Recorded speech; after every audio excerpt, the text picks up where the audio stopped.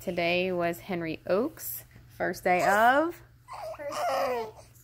Second grade. I was about to say, you went back to first grade? Second grade, you forgot.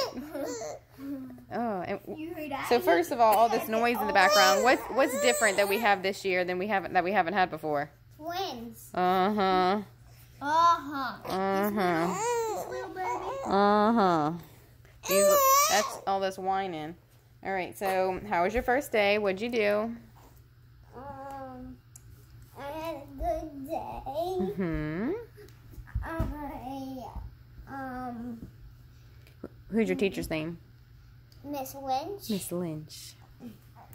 I, um, learned about my friends.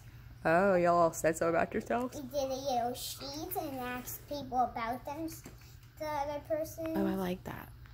And we didn't do any math or reading.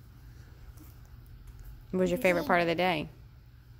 Um, coming home.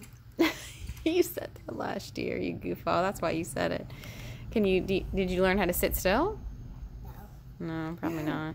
Maybe maybe you'll learn that in third grade. He he is the wiggly person. What are your friends? What?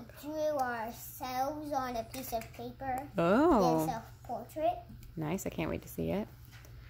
Um, who is in your class this year that you're excited about? Red Carson. Again?